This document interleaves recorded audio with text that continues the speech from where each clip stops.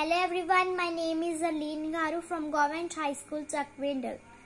I am student of 7th class. Today we are going to learn different way how to appreciate someone. So let's learn it.